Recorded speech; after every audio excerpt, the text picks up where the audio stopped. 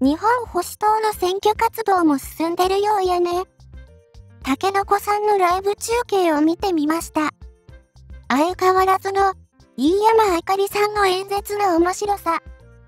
3月13日は天気も良くて、竹の子さんはずっとついて回ってるみたいやね。ただ、ちょっと気になったのが、有本さん。亀戸駅前やったと思うけど、ポケットに手を突っ込んでマイクを持って演説してるんやわ。時々手を出すけど、見てるとすぐにポケットに手を突っ込む。寒いのか癖なのかわからんけど、ポケットに手を突っ込んで喋るってのは、すごく聴衆を馬鹿にしたような態度に見えるし、良くないね。それから、亀戸駅前の時に、竹の子さんみたいな YouTuber がいろんな箇所にひっついていって撮影してるのに対して、ひっついてこないで、撮影は一箇所だけにしてくださいなんて言ってたね。バカじゃないの ?YouTuber が宣伝してくれてるんやない？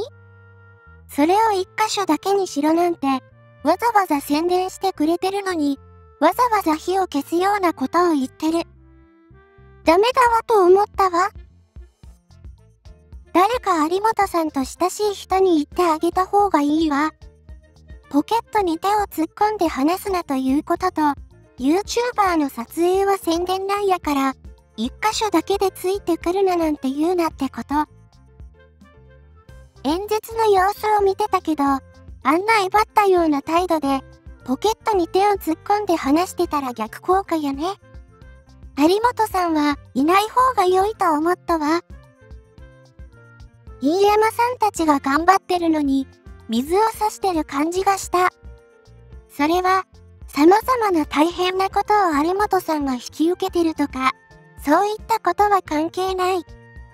人が見た時の印象ってのは重要やと思う。個人的に有本さんはあまり好きやないんで、ファンの人が言ってあげるといいと思うわ。せっかくの飯山さんの演説をあの威張った態度と、ポケットに手を突っ込んだまま話す態度で台無しにしてる。まさか、それが目的か？飯山あかりさんの一種漫談みたいな演説は面白いね。夕刊富士にも次のように書いてある。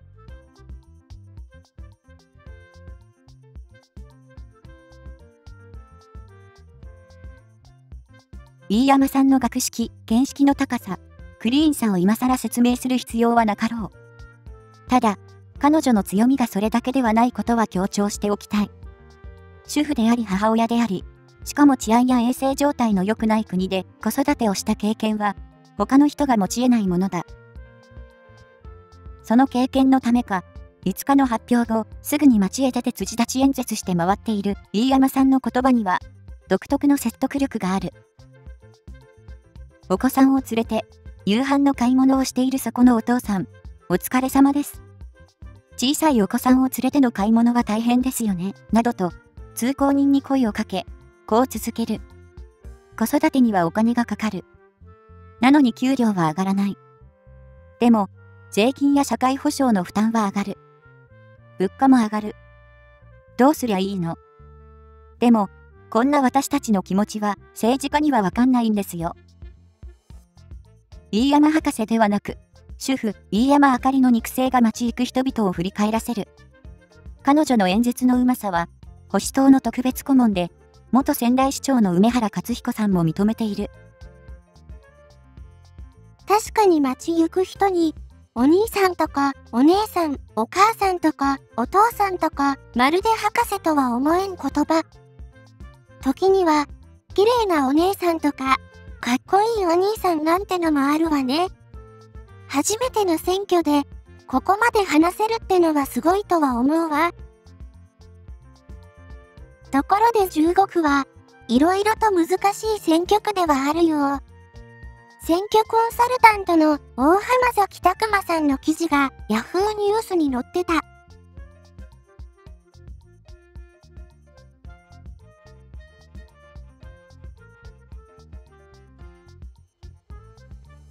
現時点では、日本維新の会が新人の金沢由衣氏を、日本共産党が新人の小堤東氏を、日本保守党が新人の飯山あかり氏の擁立を決定している。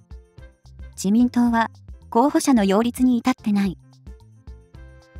15区は、もともとは木村弥生前区長の父、木村弁氏の地盤だったが、先の江東区長選挙で柿沢水戸衆議院議員が逮捕され、木村弥生前区長が公職選挙法違反で在宅起訴され、秋元司が IR 汚職で逮捕された。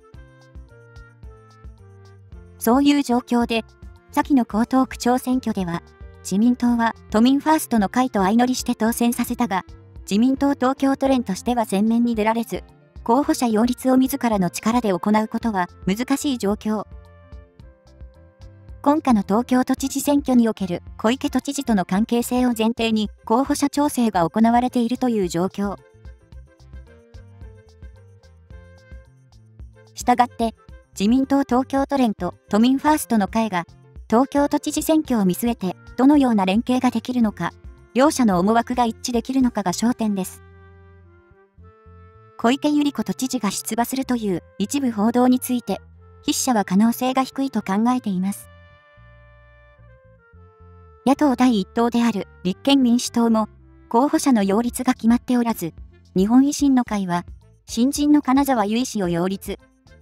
前回の総選挙は3着で、その後も地元で着実に活動をしてきたことや、先陣を切って活動展開ができていることが強み、日本共産党は、新人の小堤東氏を擁立決定。